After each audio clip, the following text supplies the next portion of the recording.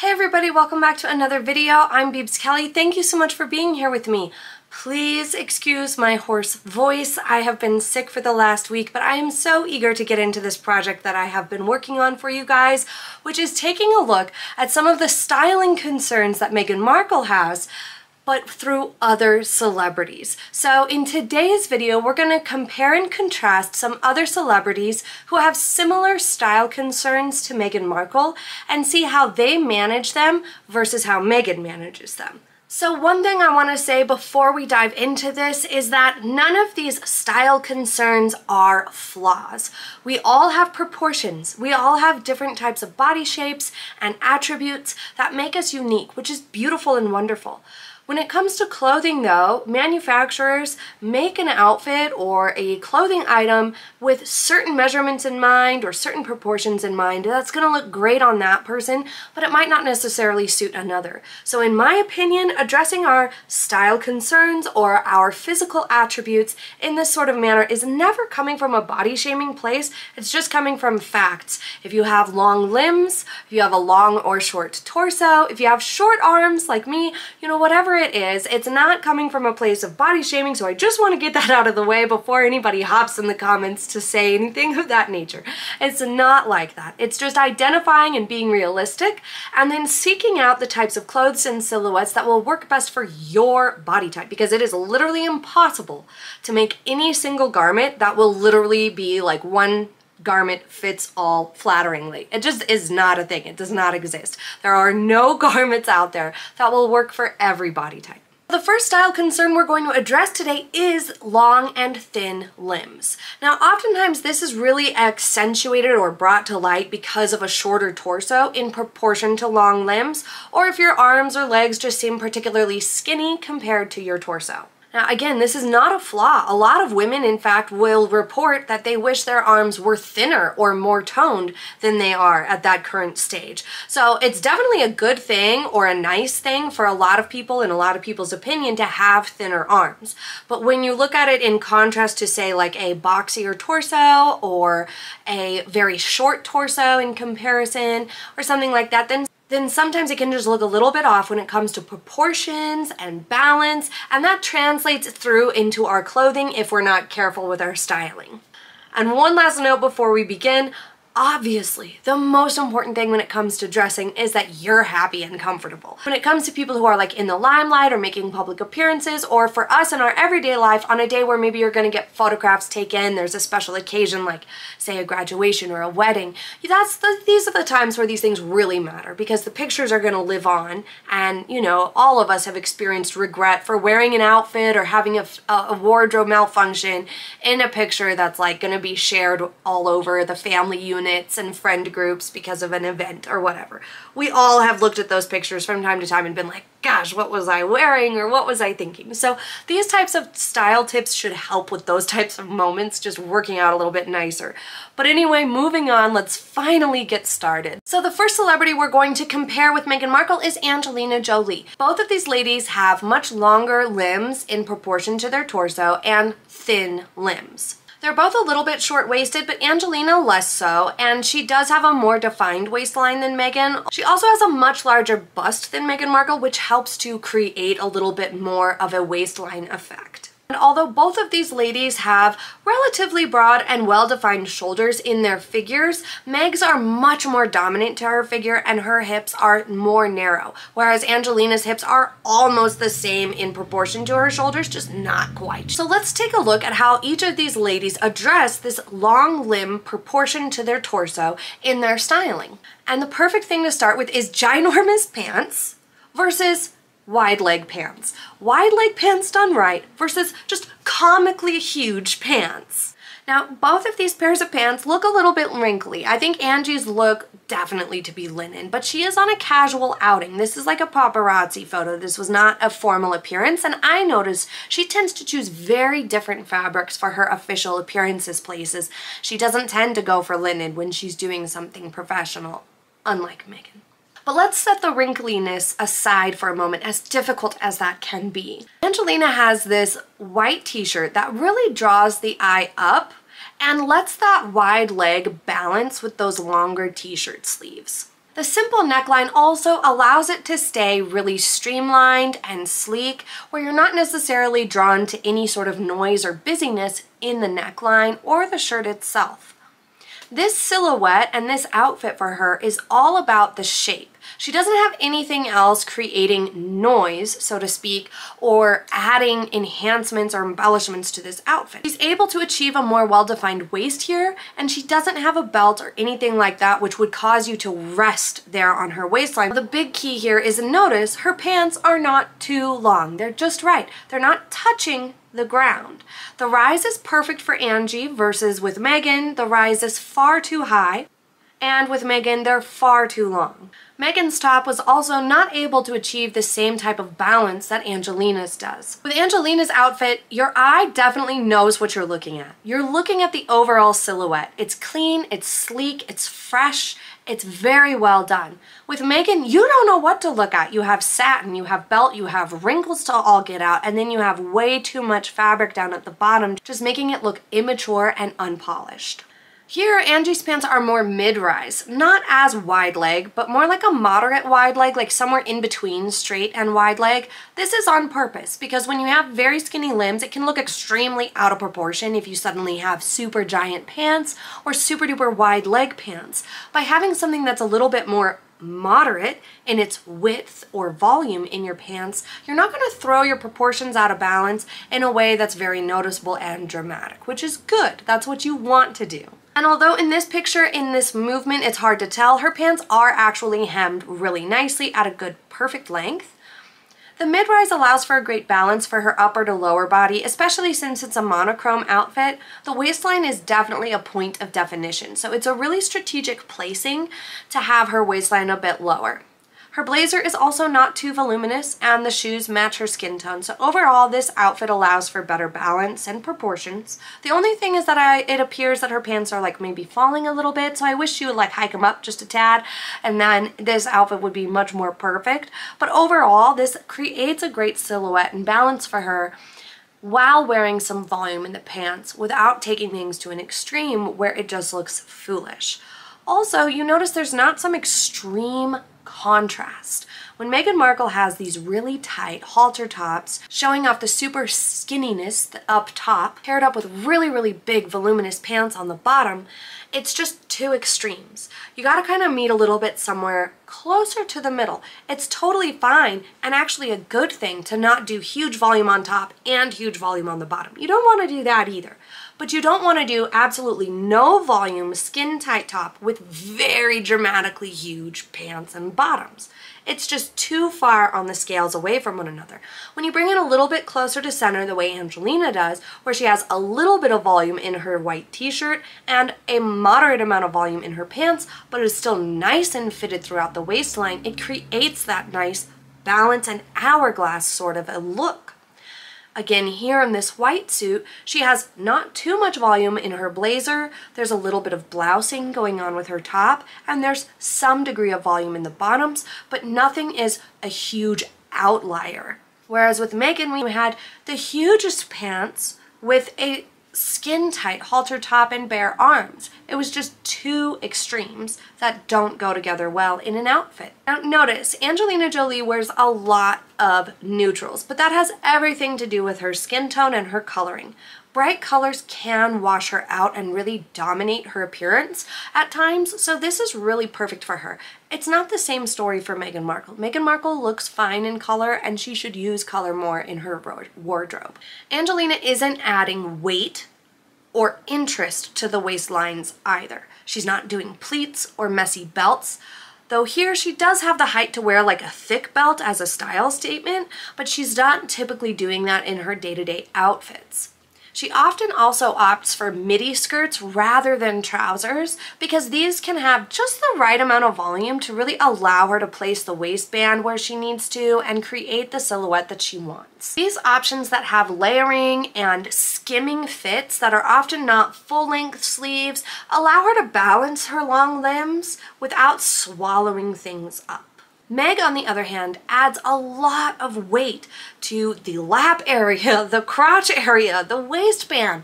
All of these areas in the tummy, she's adding tons of weight and fabric and interest and that's going to draw the eye right into those areas in the midsection with her pleats, the drop crotch type situations that she does, the big belts, all those sorts of things are going to just create focus there and you really don't want to do that. Although not all of these pictures of Angelina Jolie are like perfectly coiffed, these are paparazzi shots, most of them, they still aren't drawing attention to her limbs either in the way that Meghan does, which in turn draws attention to the contrast and the discrepancy between her proportion of torso to limbs. Here with Angelina Jolie, you can also see that she makes sure that the hemlines are not competing with one another in her outfits, as well as the colors and the textures. With Meghan, we often see the coat not matching the length of the skirt or dress very well. And that's a really important thing to keep in mind. If your skirt or your dress is hanging out beneath your coat, you need a good amount of distance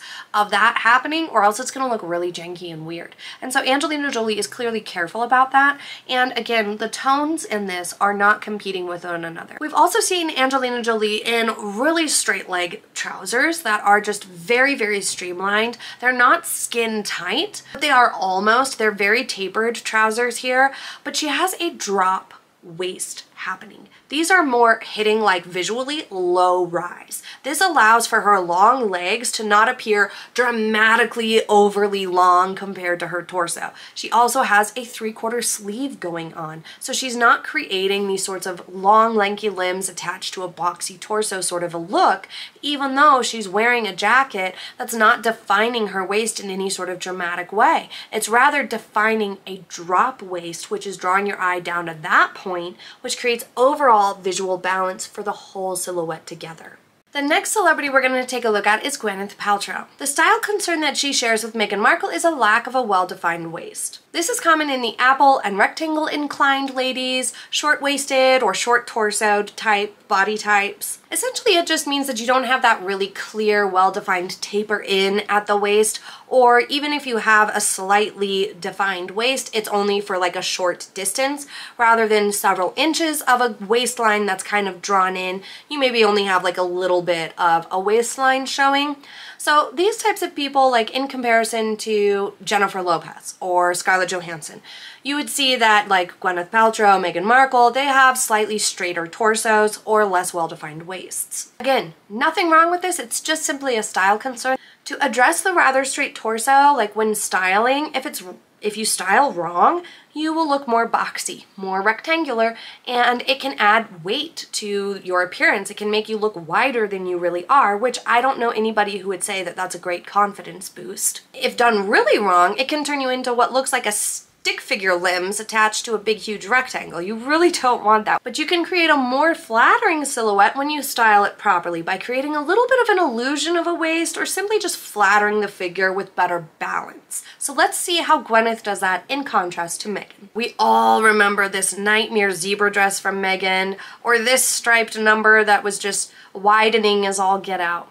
Take a look at how Gwyneth Paltrow styled some stripes. This is absolutely fabulous for this body type. It's creating all these diagonal lines, which is creating curves. There's volume up at the top, there's some volume down at the bottom with the train. It's very asymmetrical, and then you're just really drawn into that exposed waist there, and it makes the waistline area seem dramatically defined. It creates a very flattering silhouette, whereas Meghan's stripy travesties clearly widen her at every angle. They add weight to her midsection, they're suffocating her neck. She's even making a pawing motion here. Put your hands down. The difference in balance here between these outfits and where the eye lands is so huge. Using things that create curve to the body or add some curve and softness to the body through asymmetry, and diagonal lines, you can really achieve a great level of balance or illusion of a waistline through your clothing. Now I know Gwyneth's dress obviously would not be appropriate for Meghan to wear,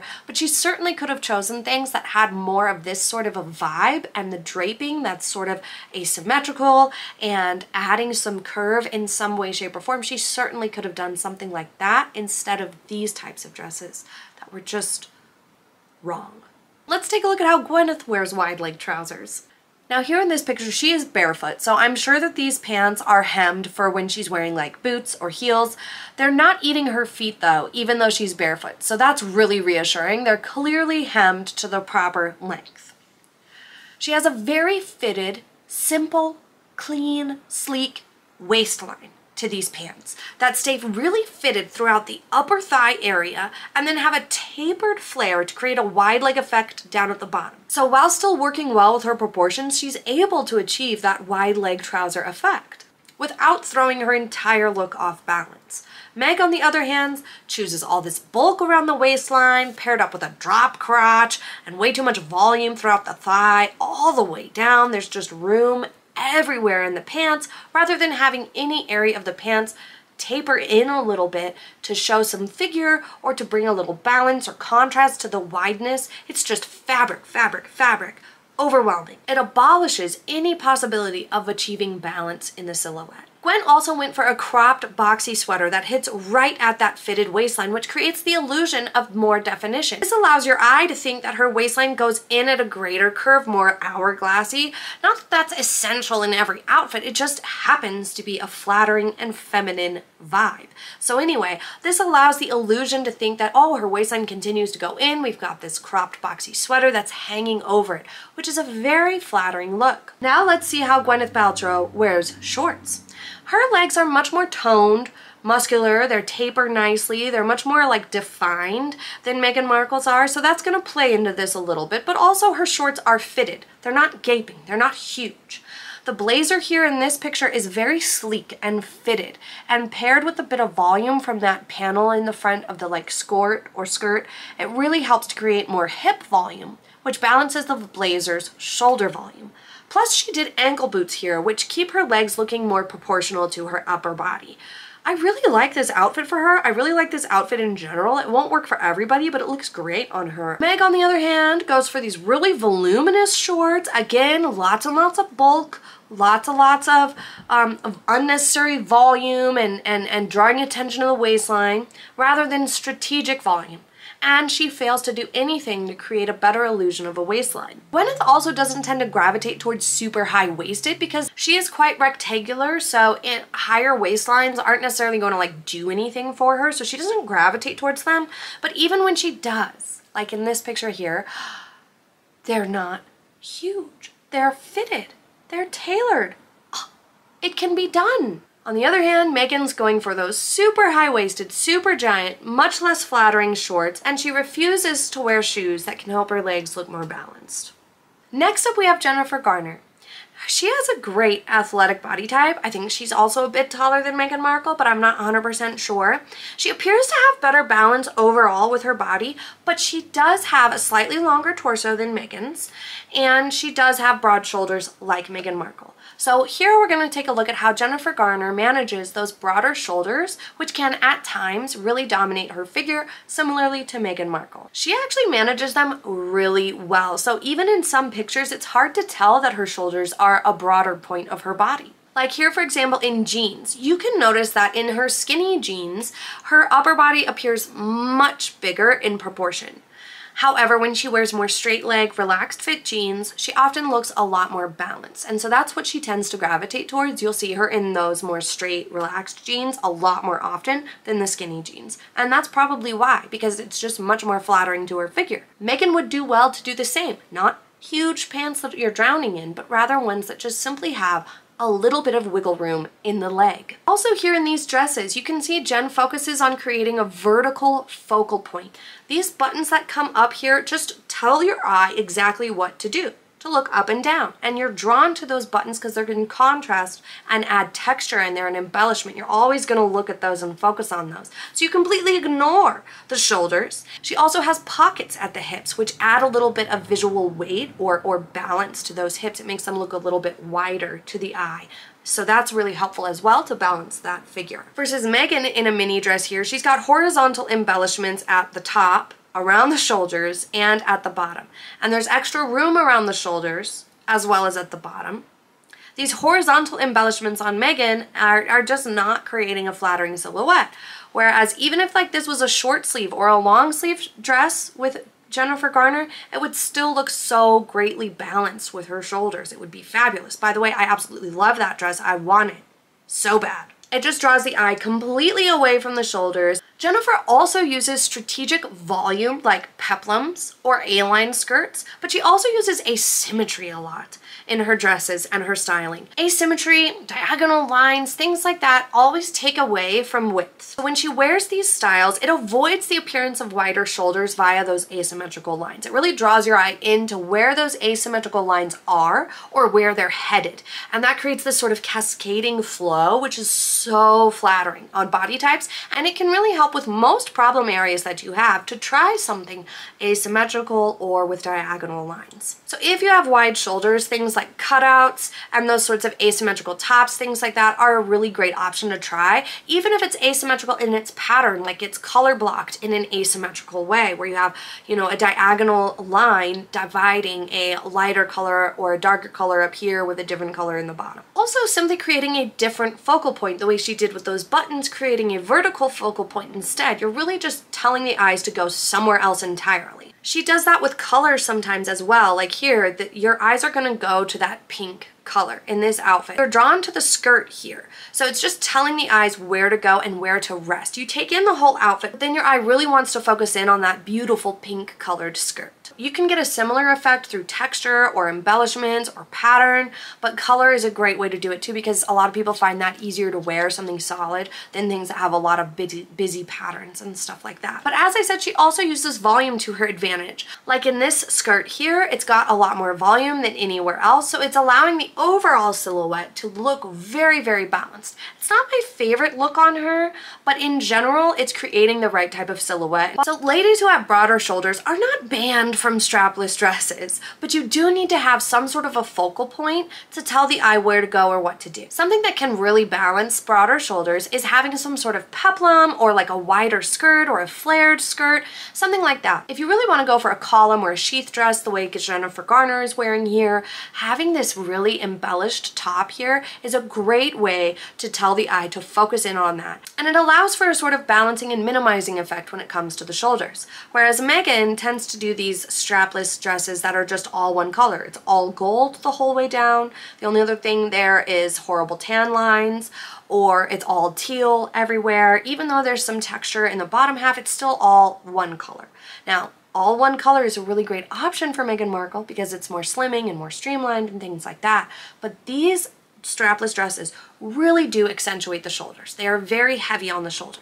If she had had some sort of embellishment or color change or a peplum to the skirt area, it would have created so much better balance, especially in this teal dress. I think that if it had some sort of a peplum and then a pencil skirt underneath, it would actually would have been like super amazing. If you have broader shoulders, you can also really just direct the eye down to your legs. If you have great legs the way Jennifer Garner does here, wearing a mini skirt or something a little bit shorter, perhaps something with a slit, is another great way to just direct the eye to a different area. Of course, that's not always going to be appropriate, especially for somebody like Meghan Markle, but it is a great styling technique. This dress I absolutely love. The amount of volume in the skirt is not huge and ginormous. It's actually just slightly wider than her shoulders. So even though her shoulders are exposed and you have these tiny little straps, it's creating the best balance with her overall silhouette. It looks spectacular.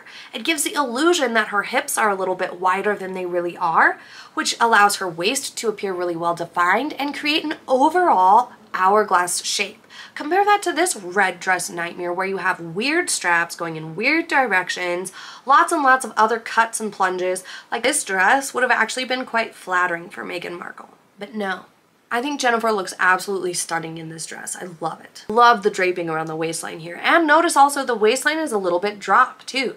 Before the flare of the skirt and whatnot is down closer to her hips. So it's just really creating a perfect silhouette. Another thing you can do is wear darker colors on top and lighter colors on bottom. You're, again, telling the eye where to go. You're always going to go to brighter colors or lighter colors, so here your eyes are going to automatically gravitate towards the skirt, which is going to give the illusion that it's more balanced compared to her shoulders. Again, she doesn't have as broad shoulders in comparison to her hips as Meghan Markle does. So overall, we can see how other celebrities are handling these style concerns or physical attributes at least a little bit better than Meghan Markle, if not way better than Meghan Markle. Everybody has a unique combination of things that they're dealing with. So you can't take a one size fits all approach and you can't find one person with one thing and cookie cutter it across all women who have the same type of thing. You have to take each case on its own. But if Meghan were to take some of these bits and pieces from these ladies who have similar concerns, like for example, long and lanky limbs paired up with broad shoulders and that more straight, less well-defined waist, then she could cultivate a style approach that's very, very flattering to her figure and just makes her look even more fabulous. But instead, we have these really rigid, stuffy styles that make her look like she doesn't know what she's doing. Maybe someday we'll see her start taking some cues from some of these ladies who seem to be much better dressed and have similar style concerns. It's really not something impossible to deal with. It just takes being strategic and of course honest with oneself in which narcissism can really get in the way of that. Please leave in the comments what you think of today's video and don't forget to click the like button if you enjoyed it. Thank you so much for being here with me. If you would like to subscribe, I would absolutely love to have you and you won't miss out on the polls that are coming up about this video if you are subscribed they will pop right up for you on your feed. Thank you so much again for being here with me. I hope you have a happy day ahead and I will see you next time. Bye!